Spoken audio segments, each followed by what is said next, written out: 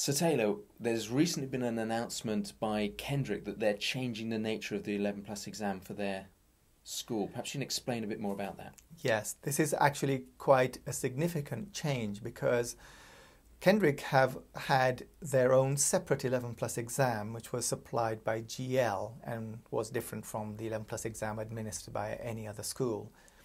And as of the exam that will be taken in autumn of 2014, Kendrick are switching over from GL to CEM, which Buckinghamshire did last year, and the Slough Consortium are also doing this year. But the change over from GL to CEM is not so significant as the fact that not only has Kendrick or announced a switch to CEM, but the fact is that they're actually using the exact same paper the Slough Consortium schools are using. So it's not, in effect, a separate exam, a separate test. It is, in fact, the same test to be taken on the same day. So a girl who wants to go to Kendrick and is also sitting for the Slough Consortium would only sit one exam, and she would sit it at one of the Slough grammar schools. Then what will happen is that whatever her performance was on that day, that will determine her score for the Slough Consortium. But the raw scores from that sitting will be sent to Kendrick for them to produce their final score too.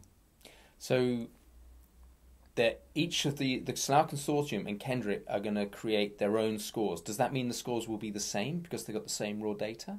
Well, you would intuitively think that the same performance would result in the same final scores. However, it's less simple than that because in order to, if you like, cancel out the advantage or disadvantage of age, the 11 plus scores are standardized to take account of the ages of the children who take the exam.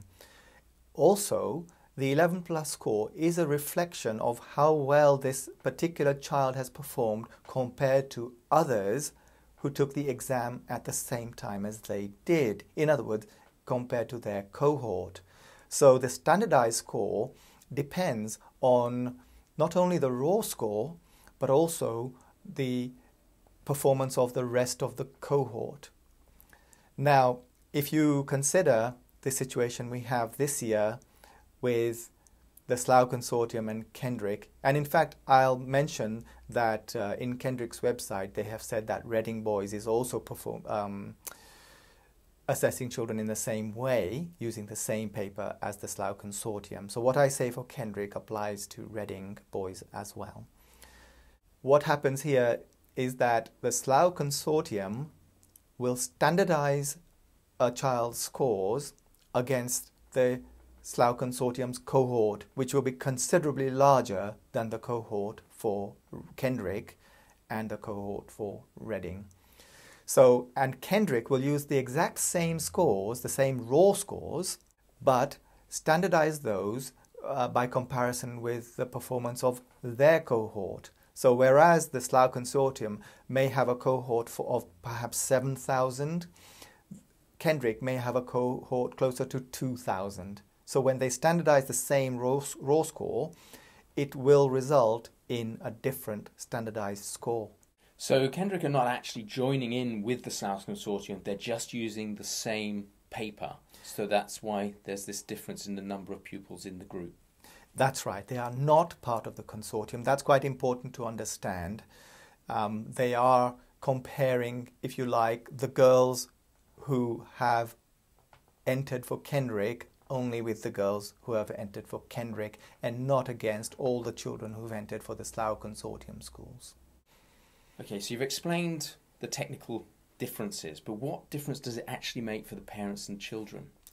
It makes a couple of differences. The first is that because it is actually the same paper, then there doesn't need to be separate and different preparation for the Kendrick test as used to be the case before. So that, if you like, is a bonus or a benefit of this change for children and their parents. So if they're preparing thoroughly for a CEM type exam, then they are already preparing fully for the Kendrick exam.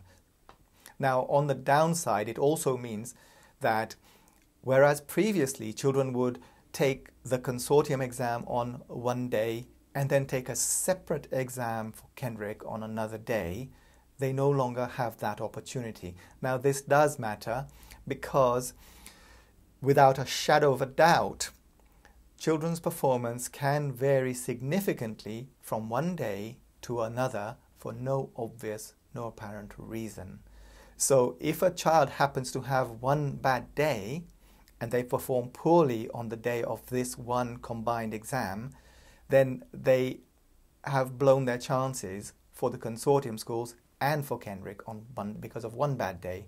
Whereas previously, if they had had one bad day, but the other day was a normal day or a good day, then they may fail or underperform in one exam but perform to their standard on another. And that opportunity has now been taken away, which is a disadvantage for them.